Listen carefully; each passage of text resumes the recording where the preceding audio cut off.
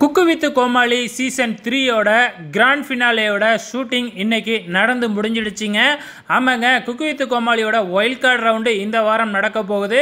So இந்த wild card round முடிஞ்சதுக்கு அப்புறம் வந்து பார்த்திங்கன்னா மீண்டும் ஒரு செலிப்ரேஷன் ரவுண்டு அதாவது ஃபைனலிஸ்ட் வந்து அவங்க ஃபேமிலியோடு சேர்ந்து ஒரு செலிப்ரேஷன் வைப்பாங்க.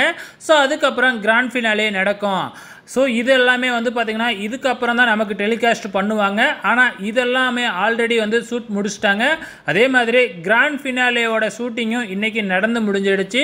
ஓகே ஃப்ரெண்ட்ஸ் மொத்தம் ஆறு கண்டஸ்டன்ஸ் வந்து கிராண்ட் ஃபினாலேவில் பார்ட்டிசிபேட் பண்ண போகிறாங்க ஏற்கனவே நாலு கண்டஸ்டன்ஸ் யார் அப்படிங்கிறது நமக்கு நல்லாவே தெரியும். ஸோ ஒயில் கார்டு ரவுண்டில் வந்து மொத்தம் ரெண்டு கண்டஸ்டன்ஸை வந்து செலக்ட் பண்ணுவாங்க. ஸோ மொத்தம் ஆறு கண்டஸ்டன்ஸ் வந்து பார்த்திங்கன்னா கிராண்ட் ஃபினாலேவில் இருப்பாங்க. ஸோ யார் டைட்டிலை வின் பண்ணுவாங்கன்னு நீங்கள் நினைக்கிறீங்க மறக்காமல் இந்த வீடியோ கீழே கமெண்ட் பண்ணுங்கள்